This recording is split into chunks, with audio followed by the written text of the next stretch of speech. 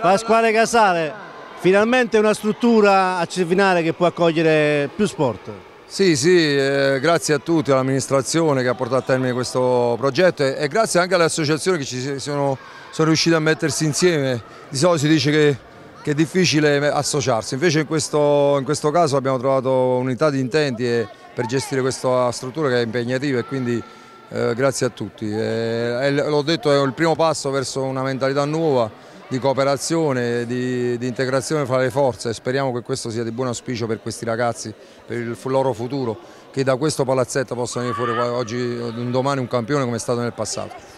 Casale, Starace, Parrillo, tanti nomi importanti, altisonanti che possono fare solo bene a questo palazzetto. Sì, sì, io ho sempre detto che nel DNA di Cervinare c'è lo sport, eh, tantissimi campioni in, in tante discipline, non ci dimentichiamo anche del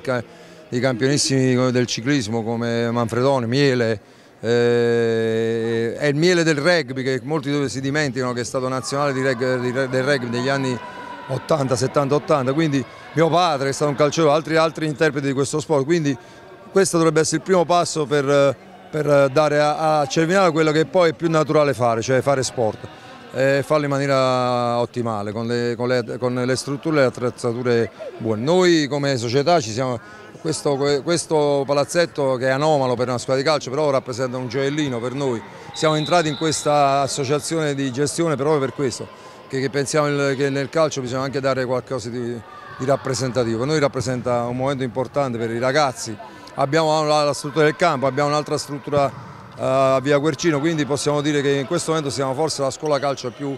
più con attrezzature e strutture adatte per i ragazzi. Speriamo che in futuro si possa ancora migliorare noi come società e, Cervignara come amministrazione facendo un campo più all'altezza della, della, storia del, di Cervinare che è forse l'ultima chicca che manca a, questa, a questo paese.